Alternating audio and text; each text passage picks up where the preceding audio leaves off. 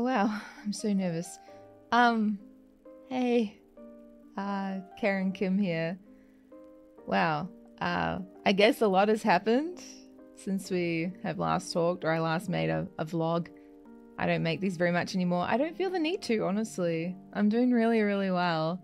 Maybe it doesn't look like it. I'm still an EP bitch, but you know, whatevs, whatevs. Basically, yeah, I um I found a place to move out to that I can call my own. It's a really swanky new apartment. I'm like actually super excited to show you guys. It's what I've always wanted. It's got a cute little loft. It's got a view of the city. Basically, um, divorce money be great. Well, as great as it can be, I guess. but that chapter of my life is well and truly over. I'm so fucking ready. I'm so fucking ready, guys. To just be happy, be myself. And you know what? Even get back to uh, being Taiga again.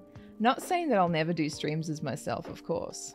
I know you uh, like like seeing the EP bitch or whatever, but I feel like such a momentous life occasion needs a little bit more fanfare, a little more zhuzh, a little more pizzazz. So here we go. Uh, don't expect to see this basement ever fucking again. Like goodbye forever. Yeah, there's been some memories, that's for fucking sure. But I want to thank you guys for sticking with me these past few years and through it all, you know. Come celebrate with me on stream this weekend. Please.